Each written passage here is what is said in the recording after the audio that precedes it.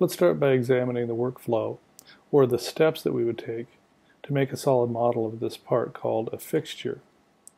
First, I would determine which would be my base feature. In this particular case, this L-shaped part of the object would be the largest and easiest to add the additional features to create the total part.